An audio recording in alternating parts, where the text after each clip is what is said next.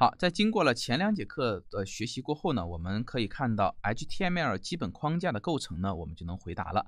那我们来看 HTML 呢，它主要的有这么一个最主要的标签是我们的 HTML 标签。那么所有的针对超文本标记的那个内容啊，内容也说我们写的带字符都应该包裹在什么 HTML 这个标签里面。然后这个标签里面呢，给我们分成了两个层次。一个呢是隐藏级的，就是我们不希望用户能够直接看到的啊主体部分以外的东西，叫 head 部分。然后呢，还有一个部分呢，是我们希望用户直接能够什么看得见、摸得着的东西，什么 body 部分。然后呢，这两个部分构成了什么？我们 HTML 的两个什么主体？那其次呢，我们还学习了关于我们的注释啊，是用这个符号。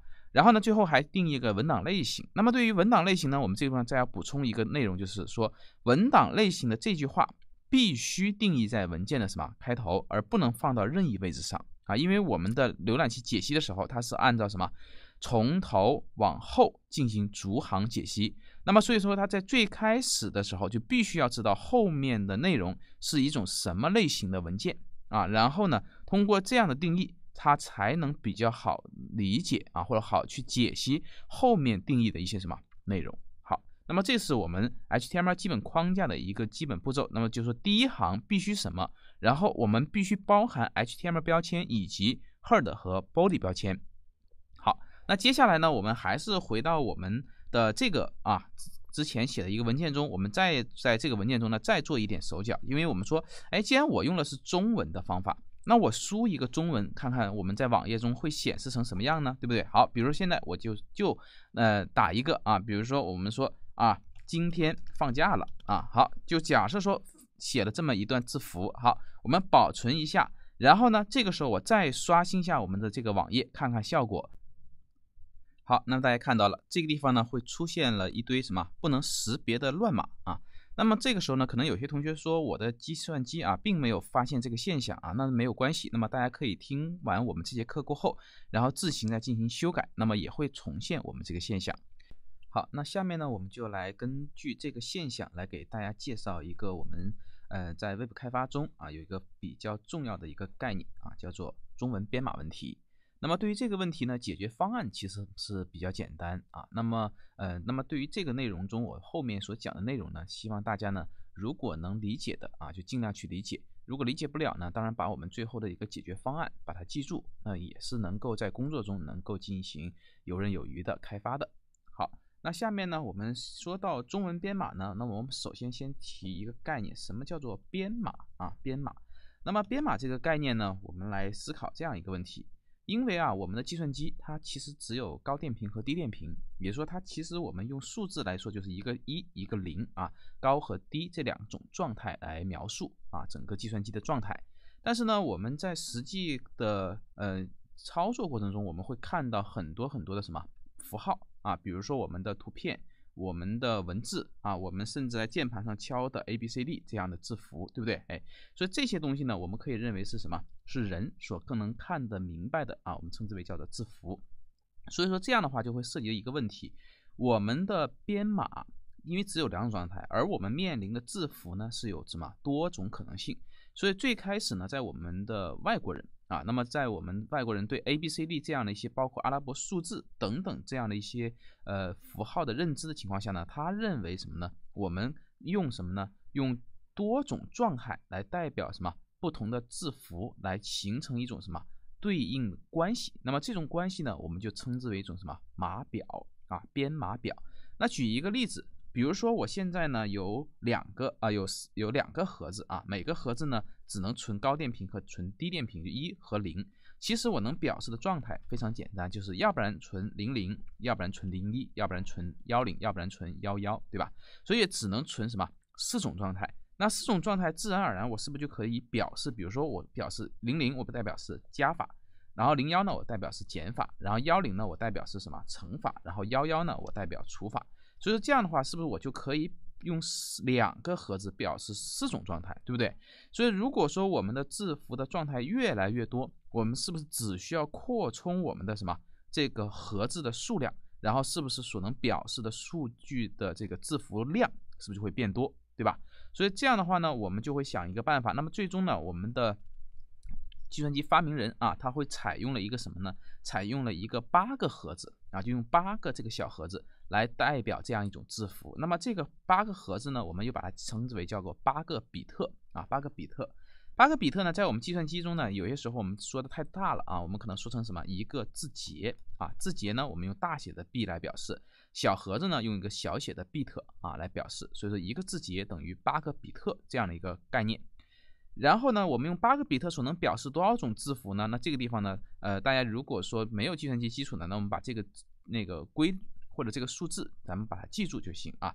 八个比特的盒子呢，总共能表示的数量呢，数学意义上是二的什么八次方啊？二的八次方。那么二的八次方是多少呢？是我们的二百五十六种状态啊，二百五十六种状态。当然呢，我们如果有兴趣，你可以看一下我们键盘啊，其实根本要不了二百多个键盘，对不对？就是我们的按键啊，一般要不了多少那么多个。所以说，其实用八个比特表示呢，其实有点浪费。所以最开始呢，我们定义了，就是计算机发明家定义了一个码表，叫什么？X2 码表。那这个码表呢，只用了什么呢？其实只用了七个比特啊，七个比特来代表什么呢？一百二十八种状态。然后呢，刚好能把我们计算机中的这些键盘的符号，包括一些控制类的符号，全部描述出来。所以呢，这个是呢，其实就是 X 码二码表的一个什么出现。那么我们在计算机最开始的时候，比如说刚刚开始我们写的这一堆什么英文字符的时候，其实这些所有字符是不是刚好用我们的标准 X 二码表一百二十八个字符就能表示出来，对不对？但是如果一旦我们的文件出现了类似像中文的东西的时候，那么我们会发现中国的汉字是不是它所能表示的汉字的种类就特别的多？它不仅仅是什么一百二十八种。状态能表示了，对不对？所以这个时候呢，我们的 X 二码表实际上是表示不了中文，对吧？表示不了中文。所以这是怎么解决呢？所以这个时候呢，我们会采用到，如果一旦有中文编码过后，那么我们就会采用一种什么？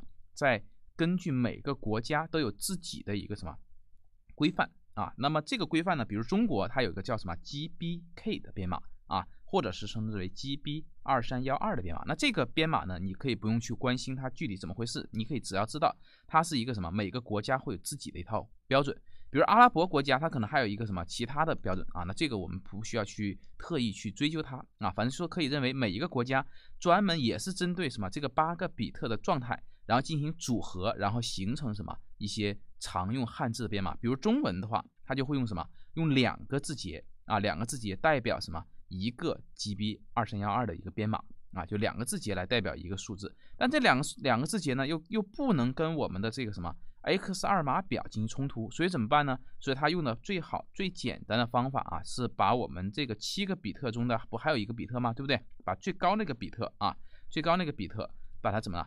把它作为什么？作为一个判断位，就是当这个第八个比特啊为高电平的时候，那么我们认为就是非标准的 X 二码表。如果这个八第八个比特呢为什么低电平的时候，就零的时候，我们认为就是标准的什么 X 二码表。所以要想描述中文的话呢，那我们的这个第八个比特肯定是什么非标准 X 二码，所以说它就会变成一啊。那变为一过后呢，那这个时候一的编码呢就必须要干什么呢？就不能再查这张表了，而必须要查对应的什么？哎，我们后面的一个什么这个定义的一种码表。那这种码表当然它就会会有什么？自己的规范了。好，那么这种码表呢有多少呢？那么如果说大家不是很清楚，那么我们下面呢给大家看一下，还是拿我们浏览器来看。浏览器呢打开我们这个地方有个更多工具，大家看啊，更多工具这个地方是不是有一个编码？看没有？那么这个编码大家可以看到，哎，我这个地方是不是有很多很多其他语言？比如说啊，日语啊、泰语啊、土耳其语啊等等这些语言，每一个语言是不是都有自己的编码？也就是说，同样的，只要是非标准 X 二码表的东西，我们拿到这张码表上来看，它是不是就会看到不同的东西？比如说，你看现在我看的是个乱码，对不对？当我把这个更多工具点编码的时候啊，我点随便点一个啊，比如点成日语，你看啊，好点呀，好，你会发现是不是又看成一种形式了？就同样的数据，我用不同的码表，是不是看到的内容是不同的？对不对？哎，所以说呢，这个呢，就是我们在我们编程的时候啊，涉及到什么？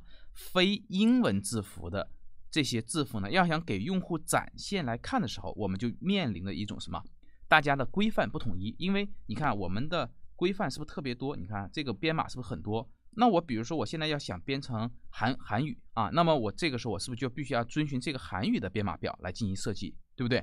所以这这种情况呢，在很久之前啊，其实一直困扰着大家，就是咱们的互联网上不可能让全世界都有一个统一的标准。所以后来呢，我们就来看一下啊，就后来就是你看这两个编码，这是我们的标准编码，然后这个呢是针对我们中国。自己制定的啊一套中文的啊一种编码方式，但是呢，这个编码呢又不能解决什么日语啊、韩语啊这些东西啊，所以说这个时候呢，我们的国际标准组织呢又给我们提供了一个编码，叫什么 Unicode 编码啊，所以这个编码大家一定要把记住，就是这是我们现在世界范围内用的最广的一种什么码表啊，那这种码表呢，呃，它会基本上涵盖了什么我们全世界所能表示的所有符号。包括现在大家经常发的那个 emoji 的那个表情图啊，其实也是在这个编码表中去体现出来的。好，当然这个地方呢，因为我们不需要研究的特别深啊，所以但是呢，我们这个地方要明白一点的道理就是，这个 Unicode 编码呢，它在编码的时候，它是把英文和中文啊，还有包括其他语言全部编成一张码，所以说呢，它的它的数据量是比较大啊，比较大。所以这个时候呢，如果说我们的一篇文章中啊，大量的出现了英文，但是呢，Unicode 编码呢，它就是把什么？它用两个字节或者是四个字节去编我们整个符号集的时候呢，它就会把一个英文啊，也要当成什么两个字符或者是四个字符来表述。那这样的话，是不是就会变得把我们文件啊变得非常的大，对不对？所以说 Unicode 编码呢，其实它只是个码表，最终实现过程中呢，我们很多科学家呢自经过自己研究过后啊，形成另外一种编码，就是真正的编出来这个码叫什么 UTF。啊，那么一般我们在实际场合中呢，用的比较多的就是什么 UTF 杠八码啊，杠十六码可能用的都不多啊，主要是 UTF 杠杠八码啊。如果有兴趣同学可以自己下来去研究一下关于什么这个编码的一个规则啊。当然，如果是只是做 Web 开发的同学呢，其实我建议可以先不着急去关注这个部分，等以后呢有精力和有时间的时候，你可以单独去看一看这个编码的问题啊。那你可以看到，像我们这个谷歌浏览器中啊。其中编码的什么最上面中，你看实际上就有一个 Unicode 编码中的什么 UTF 杠八编码，而且它是属于什么？是属于说我们最上面最推荐的编码方式，看到没有？因为这样的话，是不是全世界的所有语言都可以支持？而这种编码呢，就是相对要少一点，属于是属于是那个小众的，看到没有？小众范围的啊。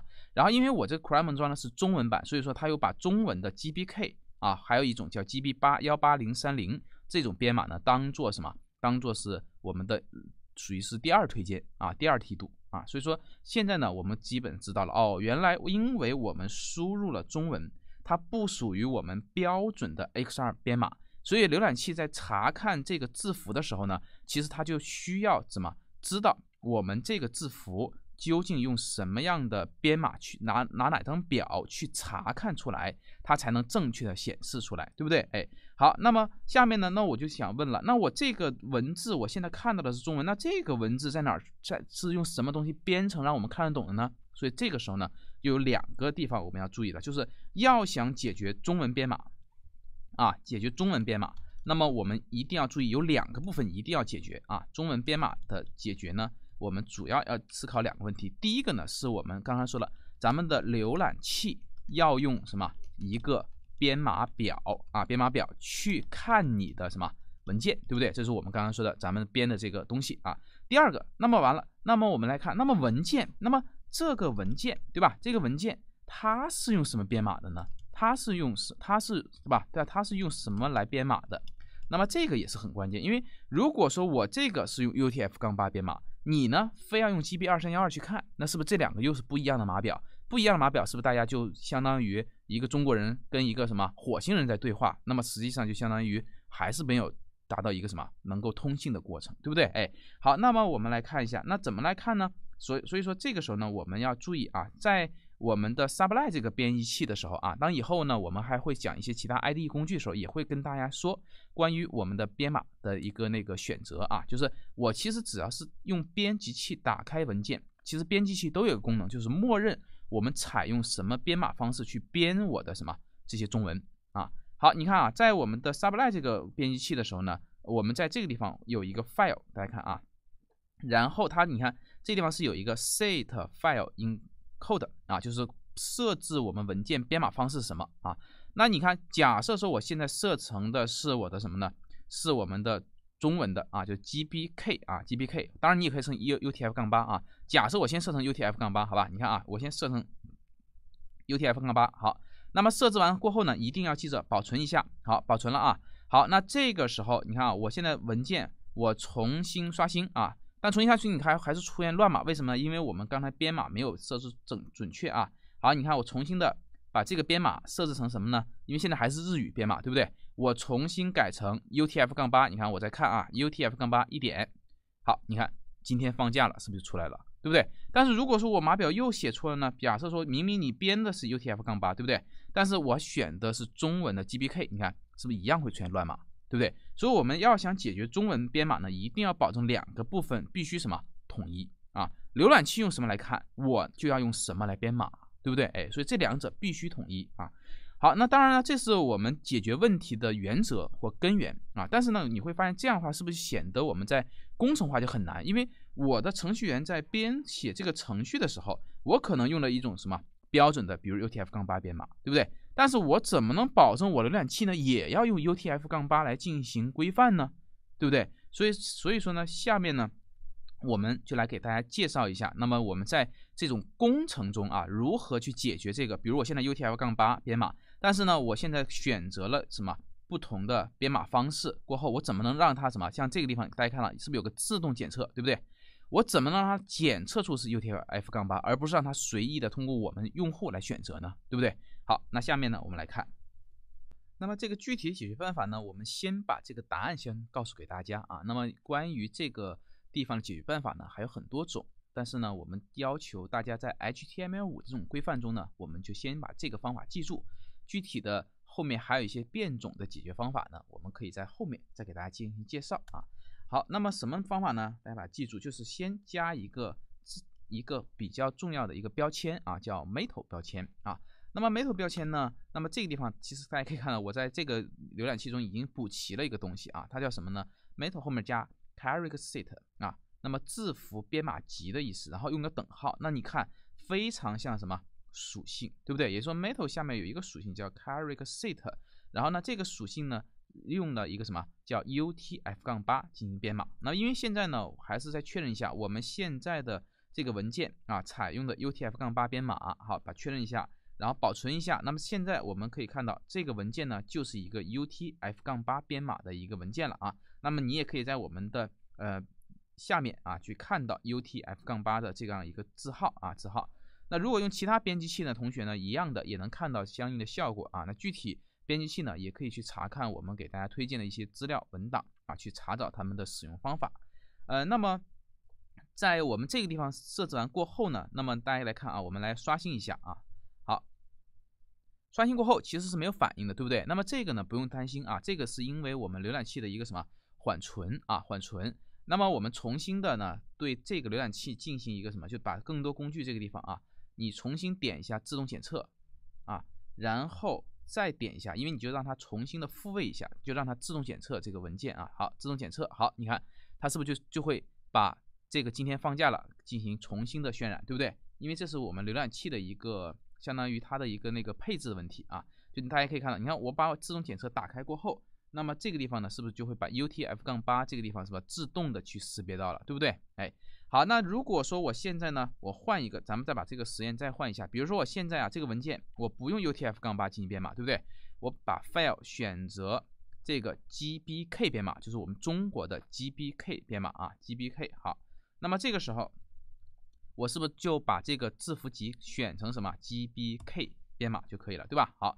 然后呢，我们再点这个什么刷新就行了，因为刚刚呢，我们是重新的对设置了我们的浏览器可以进行什么自动检测啊，然后你看再刷新，好，大家看啊，没发发生反应，对不对？但是你要注意一下，你这个时候你看点更多工具的时候，我们的编码它是不是自动的探测到了什么 GBK？那么最开始我们自动刷新的时候，它为什么没有显示成功呢？其实这个勾相当于没有勾上，因为我当时是已经通过鼠标。去选了什么其他语言，所以这个时候这个勾就已经被浏览器认为是放弃了啊，所以我们必须要重新的勾选它。